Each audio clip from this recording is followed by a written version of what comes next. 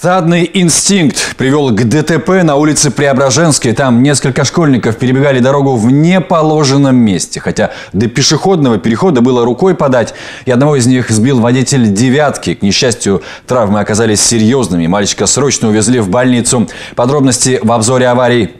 Авария произошла во вторник днем напротив дома 103 по улице Преображенской. По предварительным данным, в неположенном месте дорогу перебегали несколько мальчиков. Одного из них сбила машина. По предварительным данным, водитель автомобиля ВАЗ-2109 совершил наезд на несовершеннолетнего пешехода, который перебегал проезжую часть в неположенном месте, вблизи обозначенного пешеходного перехода. В результате происшествия восьмилетний мальчик-пешеход получил травмы и был госпитализирован в медицинское учреждение. Два автомобиля столкнулись на улице Попова. По предварительным данным, 18-летний водитель «десятки» ехал в правом ряду и хотел пересечь перекресток в прямом направлении. Хотя знак требует, из этого ряда нужно обязательно повернуть направо. В итоге начинающий водитель врезался во встречный «Шевроле Ланос» под управлением 41-летнего водителя. В ДТП травмы получила 20-летняя девушка-пассажирка ВАЗа. Как уточнили в ГИБДД, ее не госпитализировали.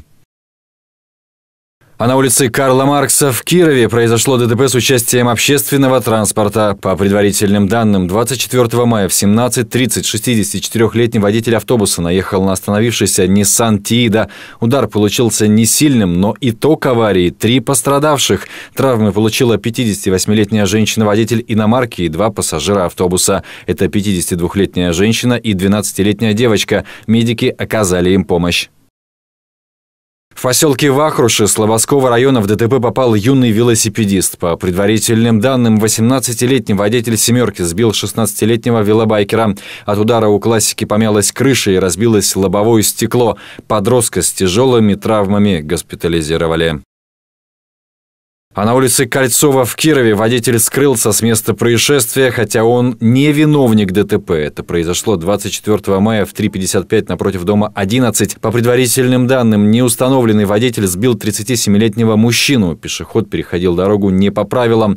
В итоге он получил травмы, а автолюбитель скрылся с места аварии. Очевидцев просят позвонить по телефону 588 935. Сергей Пичугин, место происшествия.